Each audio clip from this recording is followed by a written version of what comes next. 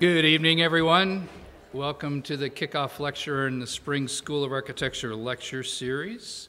We've got an exciting event lined up for you this evening. My role tonight is just to tell you about the lecture series overall and uh, what's coming next Monday.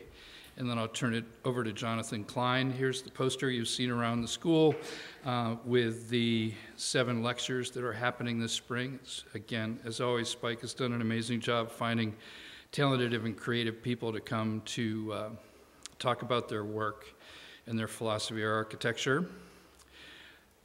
I need to remind you that uh, this lecture series is made possible by a generous gift from the family of Alan H. Ryder. Uh, he was a graduate of Carnegie Mellon School of Architecture. In those days, it was Carnegie Institute of Technology, um, Cranbrook Academy, and run the Prize of Rome and studied there um, and worked in prestigious firms in Washington and other major cities. You can see the little image of the St. Louis Arch up there in the upper left-hand corner. That was one of his projects.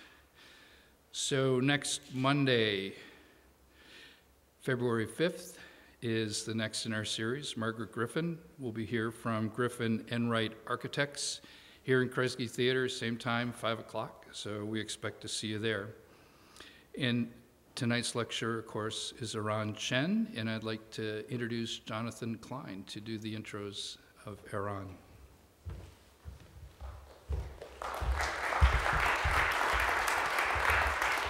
Okay, thank you, Steve. Um, so I'll keep this short. Um, Eran Chen is the founder and uh, executive director of ODA, which is a dynamic and rapidly growing firm based in New York City in just a short 10 years, uh, he's built a firm that is transforming New York through large scale projects as well as projects around the globe. Much of ODA's work focuses on designing everyday spaces of living and working uh, in dense urban contexts. And their projects take on the complex challenge that he'll talk about tonight of bringing um, um, innovative architectural ideas, which often are not present in um, kind of speculative work, uh, by taking on the zoning constraints, by taking on the conventions of real estate development, by really deep understandings of architectural typologies, and transforming them in ways that relate them to the city in different ways, create indoor, indoor outdoor um, relationships that are um, transformative for those buildings. Many of their projects also um, engage in urban design and transform the spaces of the, the outdoor spaces, the spaces between buildings of their work, and engage with the city in innovative ways. In recent years, for those of us in Pittsburgh, we've been experiencing um, kind of a boom of higher density mixed use development than we've seen maybe in the 30 years prior. And some of that work is good and some of it maybe less so. Um, ODA's work, for me, offers uh, an inspiring contrast to some of what we've seen happening in Pittsburgh, and it is with great pleasure that I introduce Eran Chen and Unboxing New York tonight.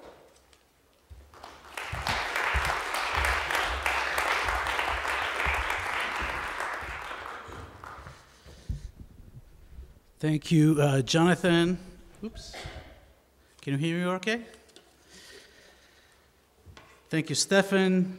Thank you, Spike, for arranging this and inviting me. It's a pleasure to be the first uh, uh, speaker at the series of 2018 lectures. And what I'd like to do today is kind of open a window to ODA's world, yeah, maybe into my world. In order to do this, um, I'd like to take you back in time, 10 years, to July 2007, when I was sitting with my lovely wife in our uh, one bedroom walk up apartment in New York City and discussing the prospects of me opening a, a design studio. My wife was eight months pregnant with our second child, you know, and with no life savings, two kids on the way, and a rent. It seems pretty obvious very clearly that it's not the right timing. But I, I was carrying a burning desire to kind of change some of the typologies of, uh, of building in New York City, especially on the residential side. And a week later, I was sitting at the same room and reading the New York Times, and on the cover of New York Times Magazine, it was an article about uh, David Adjaye, you know, the British architect who came to New York, and I was reading it. And as I finished the last sentence, I shouted from the other room, I'm doing it! And that was it. There was no discussion afterwards. But really, six weeks after, Christian Bailey, Don Young, and Charles uh, were brave enough to join me um, and, and to follow me into opening ODA, Office for Design and Architecture. We did it in a small studio apartment on the Upper West Side. And the beginning was quite uh, good. You know, we got a, a, serious project and a few small projects until somewhere in the middle of 2009 the phone rang, and our biggest client called me and he says, uh, Lehman Brothers, who sponsors our project, uh, went down, went under, and the project is obsolete. And the next few days were very similar. We lost all of our projects in a matter of a week. You know, the big recession have started. We were 14 people at that time, and, and we were sitting around a table discussing what are we going to do now? And we discussed everything from, you know, creating courses on interior design uh, to opening a bagel shop downstairs. It was really a survival mode. If you look at all the points of the Dow Jones right here, look at where we peaked to open the office, right? The edge of a cliff. So timing is not my best quality, I can tell you that. But we managed to survive, weather the storm uh, by being nimble and pragmatic, and mostly just by wanting it. And uh, today, ODA um, is an office of about 80 uh, great uh, talented and fun architects. We have people from 28 nationalities, and we have projects in New York, but in different states and also around the world. So there's definitely transition here, and last year we kind of celebrated in a big party our 10th anniversary, and we said, how do we capture the transition, what happened to us in 10 years, our experiences and so forth? And we decided to write a book. And the book was not to be a monograph or showcase our project, but rather sort of a diary uh, that, that kind of shares our thoughts, our ideas, and our stories. And through the process of writing the book, we figure out there's really five elements that are persistent in their overlapping in our work, and that we believe are actually five elements that should be in the core of architects going forward today if we want to transfer uh, or transform the future of our cities. The first one is living. Living is really our motivations. What do we care about? What keeps us awake at night? What is it that as architect we believe in and we want to change? Zoning is the understanding of regulation, not a very sexy uh, topic. But what seems to many as, uh, as uh, handicapping for us is inspiring. Developing is recognizing the worlds of client out there. Guys, 90% or more, probably much more than 90. Majority of development that is done in the world today in big city necessarily is controlled by the private uh, sector. And so our relationship as a profession with the world of developer must change if we want to if we want to carry change. Marketing is the way our ideas are communicated to the public, and building is really our understanding that what we shape as a community and society shapes us. And so what I'd like to do today is I'm going to go over three of those topics and use our projects to kind of ex express our ideas. And hopefully at the end of it, you'll see the overlap between them uh, that is what defines us. So I believe that if we're not going to do anything about it, this is the future of our cities.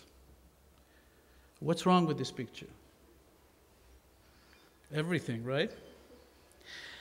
Well, I believe that there's three principles or human, uh, human uh, uh, needs that directly are connected to architecture. One is to see far and beyond, to open the window, to look above, to climb up the mountaintop, to sit by the ocean and see the, uh, the, uh, the view. The second one is to be shielded and protected. The third one is to live both inside and out. And the last one is to be connected to others. We're social animal. And unfortunately, if you take the four elements, the overlap of these four elements barely exists in modern cities, definitely barely exists in New York City. And we really wanted to do something about it. So, what we do, in lack of better words, is we call unboxing the city. What it means is really we try to find different dimensions within the otherwise extruded box that can accommodate uh, those changes, what we call vertical village or other qualities. What we do is we, we try to find the, uh, the breathing room of a building, meaning to what degree it can extract and compress in order to create new territories by which we can expand our life into. And what we're hoping uh, to find by doing this is many things, but um, three of them are what we is vertical village, which is really living both inside and out, but also protecting our privacy while creating communities. Avoiding dead ends. You know, dead ends is the feeling I had as a single in New York. When you come in you, to the lobby, you enter an elevator, and you end up in a dead box looking at a wall. And I guess if you're very lucky, you end up in a dead box looking at a view, but it's still a prison. Reclaiming lost space. What is it that we do with the space that we as architects reclaim or we take as we build new buildings? And what does it do to our communal space in the city at large? So we're doing it through diversity of projects in ODA, different typologies, different programs. But I want to show you today uh, just a few examples. And the most explicit one, perhaps, is a building we designed in Williamsburg in Brooklyn, where very typically to Williamsburg in Brooklyn, you'd have a box with a base. The base is retail. The body of the building is what we call the base of the building, and then the penthouse. The penthouse is where the rich people go because usually a place like this would be shared by two to three people that enjoy a huge terrace. And we thought, can't we expand that in a different way by which the outdoor space would distribute it or trickle to rest of the, the apartments? And so the entire building is a penthouse. So we did what we always do. We expanded and contracted the building. We checked the breathing room of that building within the given envelope to check that the, the new territory that we might uh, discover. And we came up with basically three typologies one bedroom, two, two bedrooms, and a studio. All of them has a corner living room and a corner bedroom, and also has a terrace that is spill over, spill out from the living room, create privacy, but yet the, the territory, the area that is defined by the void between the street and the building, those canyons, is an area that is controlled and belong to the tenants of the building. This territory is valuable. And so, in a way, you can say that the life of the city, the way it is, kind of, kind of uh, find their way into the building in a way that would maintain people's privacy, but at the same time expand their life experiences, both with the outdoor and with others. So, even the smallest apartment could open up and, and come out to a substantial terrace. We cut those sections at the front of the buildings to start discover the potential activity that this territory can, can maintain. And clearly, uh, my guys at the office are having really fun, especially with the guy who's, who's dunking in the uh, basketball here. But the reality is that unless we search for these territories, we're not going to discover them. Another simple example is with the project we finished recently uh, on Park Slope in Brooklyn. And beyond the fact that most of the apartments have a substantial outdoor, the way that the outdoor is organized in a cascading factor define a zone, again, a space that you can see between the, the, the stepping balconies and the, the territory of the street. And that area, that zone, we feel is communal. It has value in the depth uh, uh, and our ability to expand our lives. And so, you know, about six months ago, we've taken our entire office before the building was completed to try to experience it ourselves firsthand. And this is what uh, came out of this.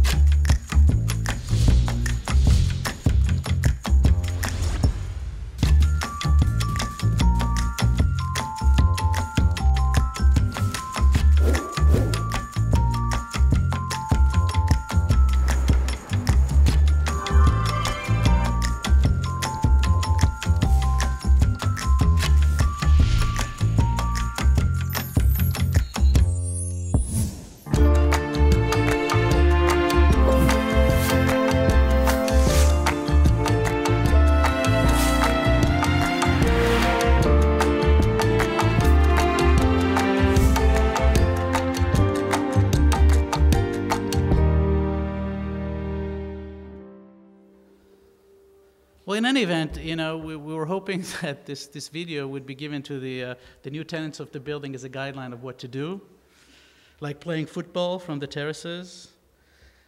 Um, but the funniest part is really this. Uh, you, I got to tell you the story. After the building was open, it was quite successful commercially, and I got a phone call from the New York Times, and, and, and you know, we're always responding very favorably to the New York Times. And the guy calls me and he says, I want to talk about this project. For half an hour, we discuss open spaces and dead ends and community and vertical villages and the whole thing. And then, you know, a week later, this came out stroller valet service at a Park Slope condo. That's what, that's what came out of all of this article.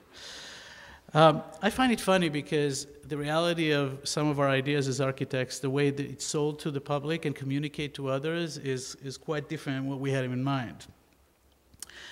I want to take you to Toronto, and we've been asked to design a building uh, at the front of Ontario Lake. And how do you deal with increasing density, right? These are all small projects.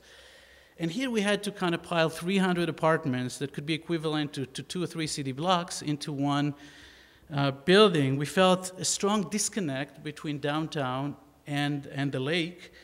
And so we came up with this formulated plan that is, is basically just an L shaped uh, tower with double loaded corridor. But the apartments are tilted on their axis 45 degrees, providing corner views.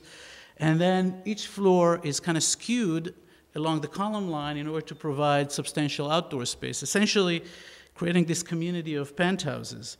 And so the building kind of responds to the light from the south, and the view is almost like a flower.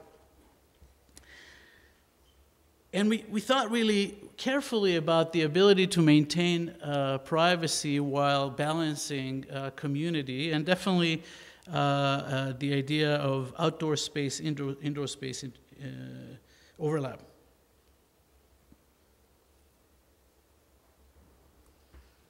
So, what happens when the scale grows? And you know, buildings are built today that are 1.5, 2 million square foot that can accommodate 2,000 apartments. And we've been asked to design some of those buildings. A developer reached out um, about a year ago and said, you know, we want to build the biggest residential development in San Francisco. And it's going to have about 1.5 million square feet, about 1,600 apartments. And you know, how do you start even? And to what extent our ideas about expansion and contraction can save that monster? Well, the one thing about San Francisco is that it's basically living sort of the city context is very low rise and it's very communal based. That, the, you know, if you take 3,000 apartments or 2,500 apartments, they would constitute a, a, a neighborhood. And in that neighborhood, you'd probably find a park and maybe a coffee shop and a dog run and maybe some other communal things that would serve this particular community. These are the amenities that help uh, unite this community. And I thought was, can we take that idea and flip it 90 degrees, or basically build that community vertically? Can we maintain the same elements that you'd find in a small neighborhood like this, and build them as a tower? So what we decided to do is kind of break the circulation into two cores. We could do one central core, two cores that actually connect in five different places, connects the two area of the buildings through the communal spaces. And in the communal places, we had a range of programs from an outdoor pool and outdoor gardens to indoor lounges and coffee shops and lounges, what have you. And so there's no situation of a dead end within the building itself. One could enter one lobby, cross through the, the pool, go up, cross through the lounge, and, and, and so on and so forth, which does not, in our mind, detract from the energy and the volume of the activity at the street level because the density increases in that corner and in the future will continue to increase to a great degree. And so what we've done is manipulated the form or actually stretched the form in a way that would define those spaces, like the arch defined the volume of air that belongs to the community of the building just by the nature of its being.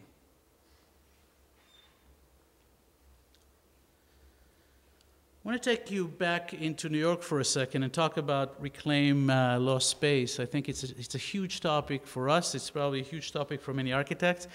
As somebody who operates in New York City, I get it all the time. There's no more land, right? That the, the space is maximized. Where are we going to go? City of New York has no more outdoor space. And the funny thing is if you look at the map of New York City from above, 30% of the open space is underused and underutilized. And you know where it is? It's in the core of this New York City block, in the courtyard. So if you look from above, when you walk down the street, you see buildings. But in reality, all of those buildings have courtyards inside them. And in the best case scenario, the courts are used, the courtyards are used for uh, small private outdoor spaces for some tenants. So it's highly bifurcated and it's not continuous. But most often than not, this is like mechanical spaces and storage for whatever and garbage piles. So that's, you know, that's, that really bothered us. And so when we had an opportunity to design a big scale project, we wanted to address that, that concern. So, you know, we were approached about two years ago to design a huge project in Bushwick. Bushwick is a neighborhood in Brooklyn. And what you see on the left is basically the map of Brooklyn today. It's of Bushwick today, I'm sorry. It's very fragmented. Uh, it's, it's compiling of different typologies of architecture and has a lot of intimate, small scale to it, which really, you know, draw peoples to it. But the zoning in the future calls for a typical New York City grid, which would create those courtyards inside city blocks. And we had two. And so we thought, can we overlap the two things? Can we overlap the small scale of, of, of, Bushwick, as it is as a neighborhood today, with the idea of the mega block of New York City, and create something that perhaps has two of those elements together?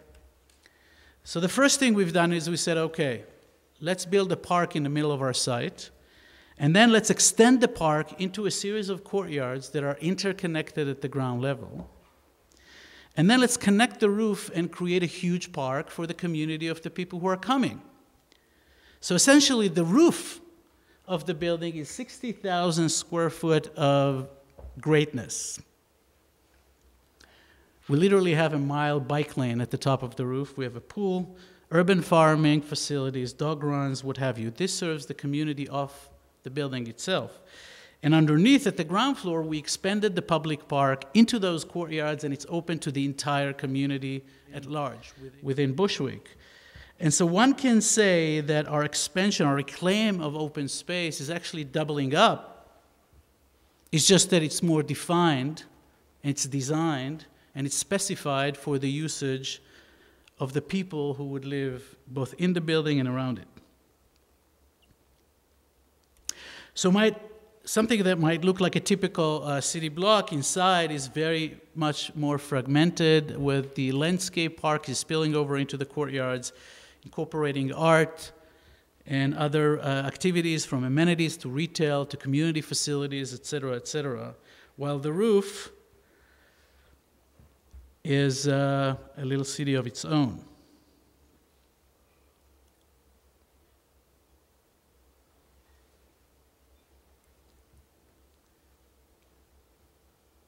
And we have to overcome some of the, the blocks that developers has, have in their heads. For example, on one hand, on the left, we're going to have the, the building's pool, which is accessible only to the, the dwellers of the building. On the right hand, we're going to have a coffee shop that is eh, eh, open to the public. So they're going to have more security elements. There's going to be a, a car reader, etc. But at the end of the day, it's nothing you can overcome. So, in the topic of reclaiming space, I want to go a little smaller and tell you um, uh, a little story. We, have designed this, this really big project that is the biggest affordable housing project in New York City. It started construction now, it's been going on for a while, and it's going to have, again, about 1.5 million square foot. And at the front of the building, we had a little communal garden that we loved. You see that little green space at the front? This was fantastic. And then recently, the city came back to us and they said, Can we accommodate in that garden a public library that would serve the neighborhood? Amazing. I mean, we'd love to do a public library, that's a great commission, but we love that little park. Do we have to choose between the two? So we started thinking of a library as a canopy, meaning a canopy that exists above the park, and perhaps the relationship between the two can start defining an outdoor space that has different quality to it And by merging the canopy to the ground, we've basically created that form. It reclaims the exact footprint of that garden, but it's basically or essentially floating. And then the, the legs that are touching the ground would be the entrances and the exits, and everything underneath it would maintain an open space, but it has its own character and would sort of carry a certain type of uh, activity.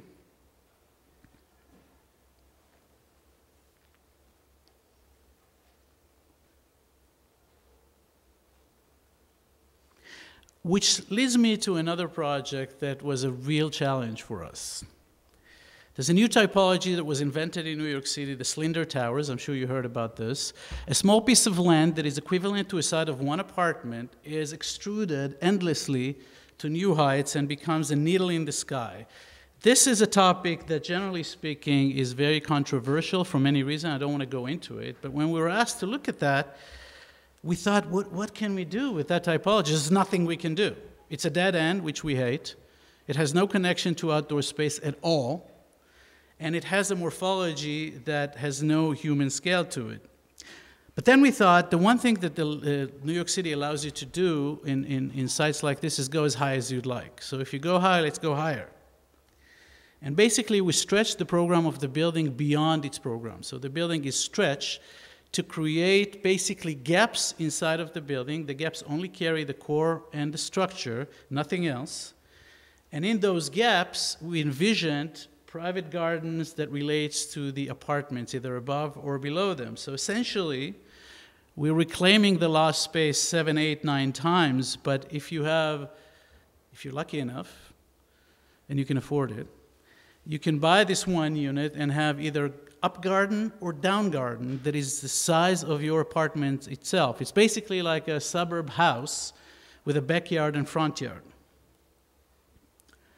Now, we worked really hard to make sure that this is protected from the wind, and I'm not going to get into it, but it's actually a very good environment to be in.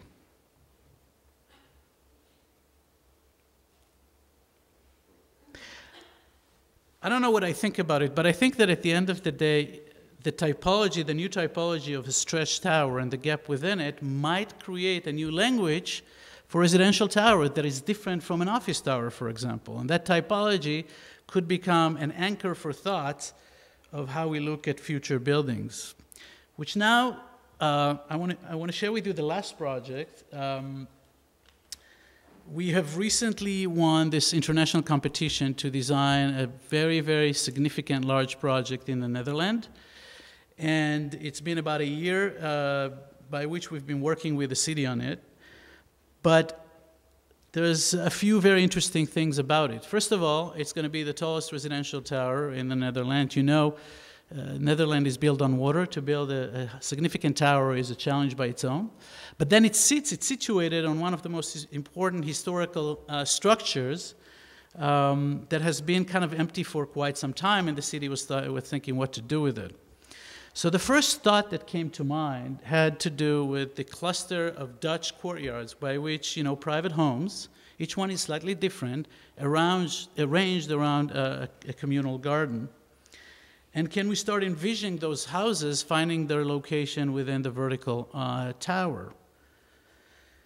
And so we've used the generic arch as um, as a component that exists in the historical building to basically repeat itself in a random way that expresses uh, individuality and community, expressing the fact that the tower is going to have endless amount of typologies of apartments with very different types of outdoor spaces, and that the, the territory between the indoor and the outdoor is that buffer zone, is that sponge that belongs and is shared by the tenants of the building.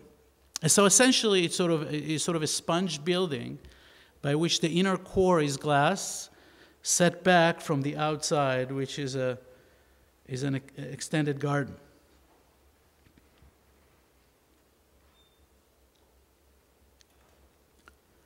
The breaks in the middle, uh, by the way, serves as the amenity spaces that are shared between the different tenants. Which then leads me into the next topic zoning. Everybody loves zoning. Right? You guys waited for that.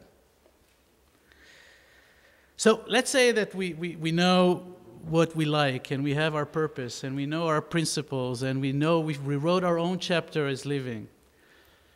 But can we really execute all of these things within the zoning regulation of a city like New York or any other city for that matter? Can we even foresee in our head being able to articulate that level within a regular zoning regulation of a typical city? Well, the answer is yes, but it's not easy. You know, in 1916, the first book of zoning was written in New York City and then it expanded to other cities around the country. It only had 14 pages. And the most interesting part was in section 19 when the purpose of the zoning was written. And at the end, it says the purpose is a promotion of the public health, safety, comfort, convenience, and general welfare. What's wrong with that? That's fantastic. Well, I'll tell you what's wrong with that. It was 14 pages. In 1961, it was 539 pages, and today, in 2017, it's 4,235 pages of pure joy.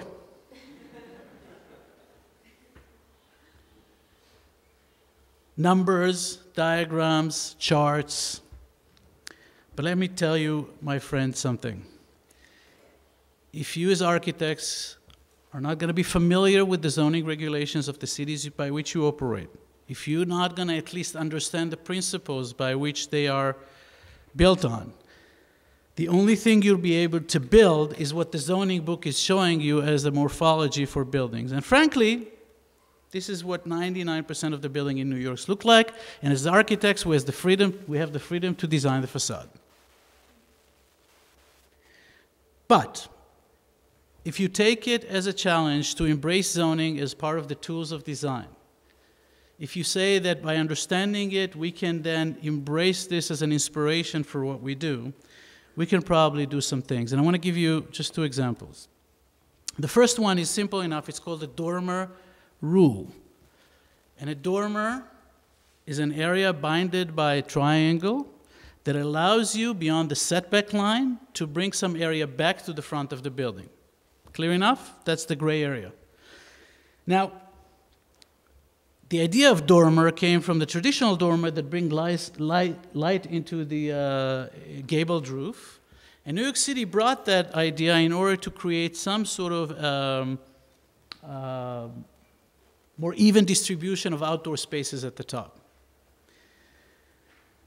But what we found out, surprisingly, is while the zoning rules define how do you measure the areas, it does not tell you to keep it there. While for years, building has been built in New York City with triangles, things like this, because that's what the zoning book says, but the zoning doesn't say that. We've actually discovered that once you calculate the area, you can put it and shift it wherever you like, which was great. Because it allows us, it allows us to create a territory we call we call vertical village, that territory between the face of the building and the setback, it allowed us to distribute outdoor spaces in greater amount and in more interesting way. It allowed us to design different apartments at the top. Each one is different. And so that's what we've done. And 15 Renwick Street, the building that was completed for about four years in Soho, has that expression. So if you look at the dormers up there, they arranged to maximize the potential of each one of those apartments to provide privacy yet outdoor spaces. And for example, this corner is an apartment that acts as a house. It's a duplex. It had three outdoor spaces. The piano room is overlooking at the uh, living room garden. The master bedroom and the living rooms are coming out. And the experience is a three dimensional experience, both visually and physically that belongs in a house usually does not belong in a city like New York.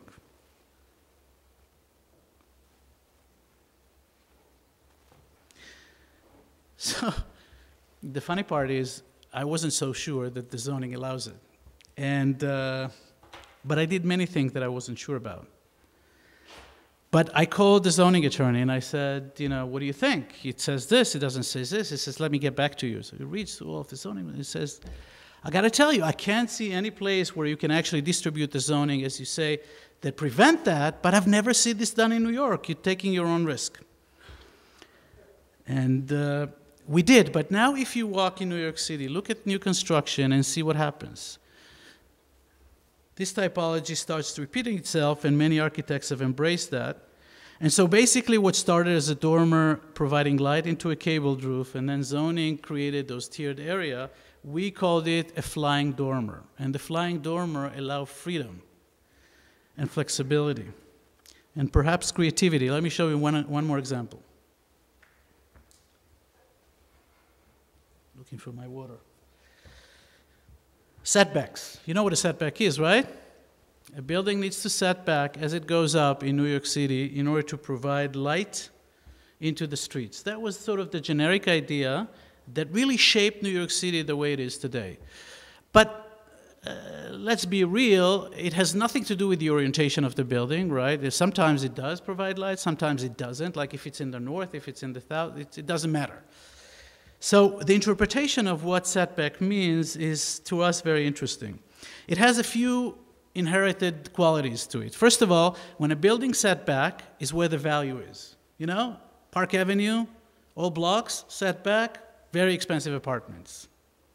So the value is always at the top. Second, you know, from a construction standpoint of view, it's not that simple. You have to set back, you have to set back your structure, MEP, you have to change your layout, you have the dormer thing to consider, and then the distribution of the outdoor spaces is really relied on the amount of setbacks you have. And so, uh, a few years ago, we designed this building, completed about a year ago, in Long Island City, right across from PS1 in MoMA. The zoning was typical base, setback, dormers. You see that? That was the, the, the, the genesis of what we had. But then we discovered that in this particular zoning, if you don't have buildings right next to you, one of those layers could set back. So meaning we don't necessarily have to keep and maintain the, the street wall, we can set it back. And then create a generic box. And if you divide that generic box, you can build a very simple building with a simple grid. And then we came up with a system by which we have one bedroom, two bedrooms, and a studio that are plugged in, but every time they project beyond the envelope, right? They create a corner window and they create an outdoor space on top of them.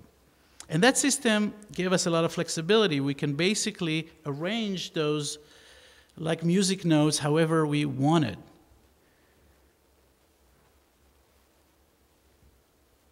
So you can say that the, the, the facade is a direct relationship to the layouts. It's not just a composition, of a material is the way the layouts are is the expression of the facade.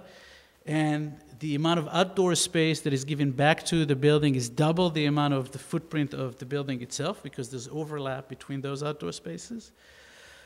And essentially it's a very simple building that was built on a very tight budget um, became one of the most desired one in long island city because of the qualities that it brings. And this is a project with a tight developer, with tight, tight timing. Everything was, was really strict about it. So you see the transformation from what is a, a typical New York City uh, zoning uh, to basically this building and the section uh, to maybe kind of fantasize of the craziness things that could happen there. Now, what I like in particular, because this building is right across from PS1, PS1 is the, the MoMA extension in Long Island City. And if you haven't been there, they have a courtyard at the front. And in that courtyard in the summer, there's parties and exhibition spaces where architects create different structures. It's quite an amazing place. The extension is made of concrete, and then the building starts a dialogue with that building. That brings me into another fun project topic developing. So we have our ideas, we wrote our chapter about living, we mastered the zoning. Now, who's going to pay for all of this fun? If 90% of the development that is being, or the, the construction that is being done in the world today is developments, it means that 90% of you guys are going to work with them at one point or another. Get over it. Our profession has been basically resenting developers for the longest time. They're the enemy of the states. Why? Because they all care about money and we only care about quality, and that doesn't work together. Well, I disagree with that. I think that if this is the reality and our environment is shaped by the private sector, we need to embrace it and we need to find ways to work with it. We need to educate our client, we need to understand them and their motives to be able to perform. Now, this is a chart that is the Bible of every developer. It's basically articulating every floor, the gross area by zoning, the actual area, the efficiency per floor, and the sellable amount of area. Sellable, the most important part, right? And this should be our Bible as well. If we build an inefficient building that developers don't like, how exactly we're going to build anything? at some point we sat down and we thought about this topic and, and if you look at a typical building right base to top there's an equal distribution of area but the values change as you go up right? We know it. Real estate is worth more as you go up. Well the other thing that happens when you go up is the quality of life expands you can have more, uh, more glass area per square foot you can have a bigger roof for community and so essentially if you take a typical new york city tower that has the quality at the end for at the top for only a few, what happens if you flip it on its head? The majority of the area would be up at the top, which is good for us, us architects, and it's definitely good for the developer. So when we had this project in the Lower East Side on Norfolk Street some time ago, the original site is here, what you see here on the upper left. It's a mid-block building, 50 foot, front to the, to the street, front to the back, and the, the solid wall on the side is what's called the party wall. We don't have legal light and air. That's a typical building. We thought about it, and we proposed to our developer to go and buy the air rights, the light and air from the neighbors. Lights and air is basically their development rights that they're not using. Pay them, buy them, and then two things happen. First of all, this dead facade now become a live, live, facade. You can have legal light and air to the side. The other thing is we've taken all of these air rights and we pushing it up to the top, creating value. And furthermore, the roof becomes three times the size of the original building, providing private and communal outdoor spaces that is great for the tenants. And so the lobby at the bottom became three stories tall because we've taken second floor and third floor apartment, pushed them to the top. And numbers talk. We convinced the developer that there's so much more profit in this that he upgraded the finishes of the building and allowed to build something that otherwise a developer might not build. So, as the project was sort of unveiled a few months ago, it, it became more evident that this is a really win win situation. The apartments were sold much higher than the projections, it was a huge commercial success for us. Uh, we thought that the qualities that are brought in the top of the buildings are fantastic. Zoning allowed it, even though it was complicated to get it approved. You really need to understand what you're doing. And perhaps a mid-block building become a new typology in New York City where the roof of those old buildings became the amenity spaces for the building themselves. Reclaimed so much outdoor spaces for the benefits of, uh, of the development.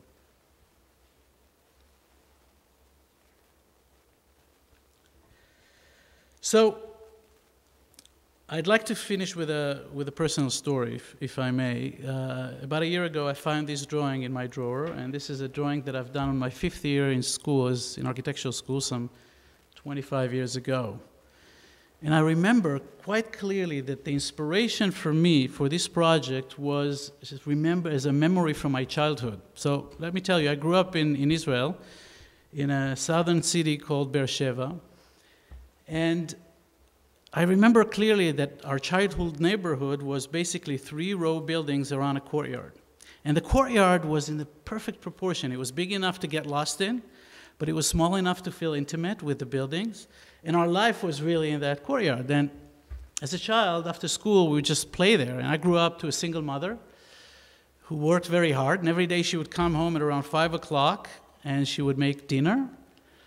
And then she would go out to the balcony and call me to come home. But instead of calling my name, she would whistle.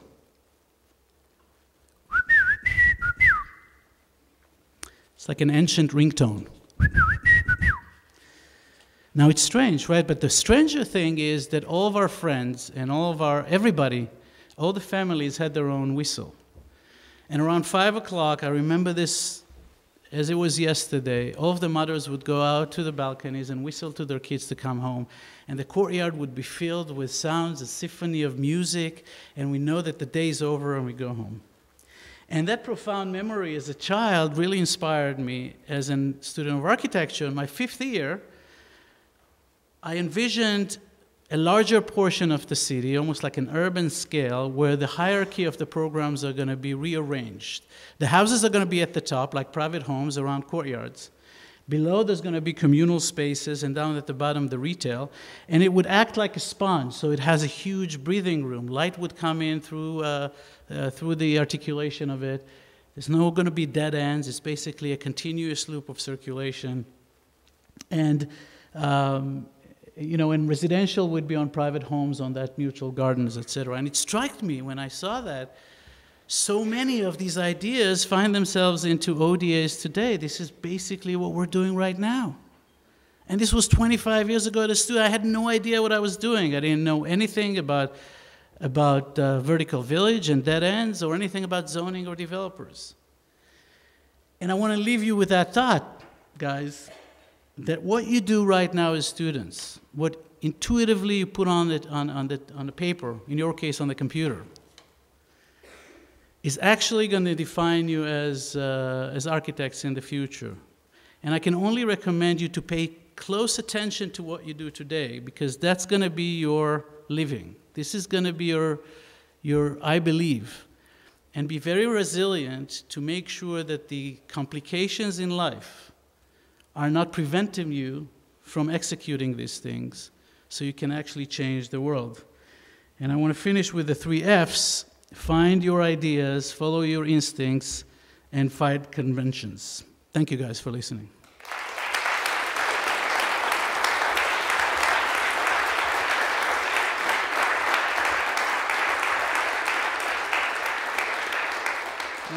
I don't know if we have time, if, if people want to have a question, ask questions, but uh, I'll be happy if you turn on the lights and then we can maybe have a conversation. Yeah? Good? Okay. I'm just going to get some water.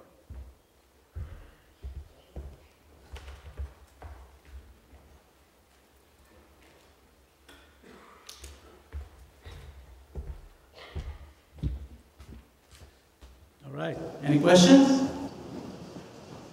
Yes. Um, so from, from what I can tell from your work, you kind of see the, the built environment as being made up of these discrete units that you get to arrange. Um, how do you manage to keep continuity within your buildings? Like continuity of, of form, how you arrange these pieces into, into hmm. larger wholes. You mean continuity between different buildings? In the same building. Well, I think it really relates to the typologies and the program. I was asked, and many people asked, oh, so this is your style, you're doing these cubes and stuff. No. This is a form that we came to by the fact that we're doing residential buildings and the form of an apartment and the form of what's an efficient room. But when we start doing other typologies like the library or we're doing mixed use or we're doing bigger, uh, bigger projects, the forms might totally change. So we're not married to any particular form or style, rather to an idea of the of, of sort of the expansion. I hope that's answered the question. So obviously how you have revolutionized how we use space in cities, this is very important going forward with um, sustainable design and how we can fight kind of the growing urban climate where space is very minimal. So how do you think this method can be used in affordable housing? Well, first of all, some of this project, and none of them that I presented today are pure affordable housing projects. And uh, in New York City, you're actually required with the large uh, rental projects that at least 20 now, 30% of them are affordable. Um, so, you know, you can do it on any type of project. The question is, can you find a way for the developer to do it and why? Basically, right? The one thing about affordable housing is very political. I think that the solution, personally, I think the solution of affordable housing by building them separately in, in Class C uh, neighborhoods uh, with Class C type of architecture is just maintaining the problem, actually making it worse. And frankly, the idea of incorporating percentage of affordable to every project makes sense to me. Developers hate it, but if the incentives are there for them to do it, they'll do it. And that, in many ways, solves many, many problems because you don't build a separate typology for affordable housing. You incorporate affordable housing with your everyday buildings. And I support that.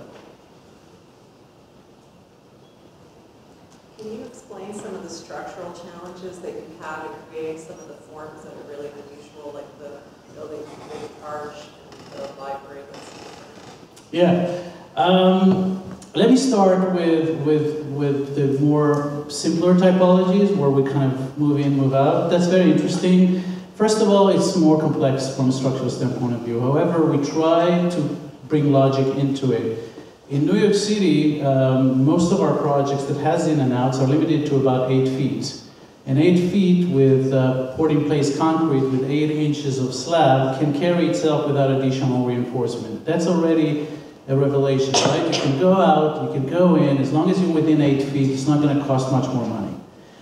Um, but definitely, as it becomes more complex, it becomes more expensive. The question is what you gain and what you lose.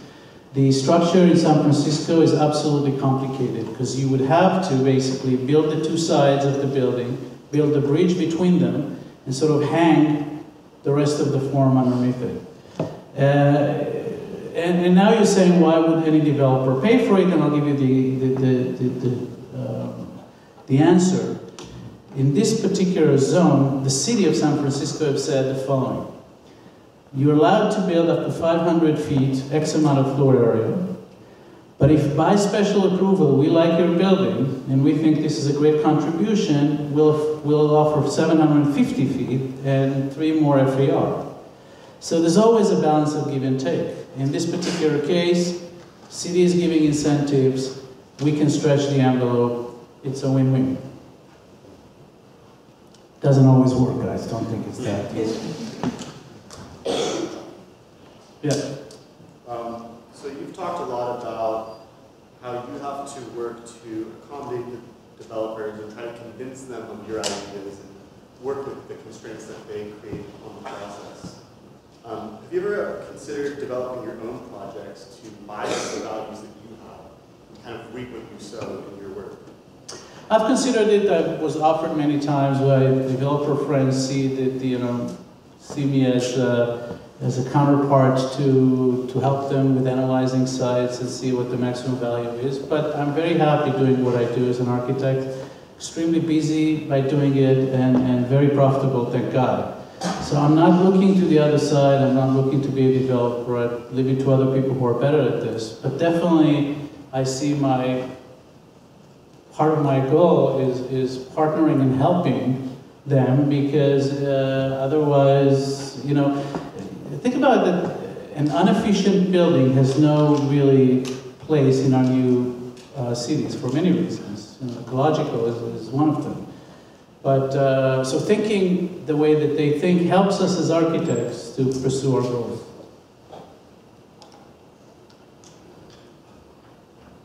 Any other questions?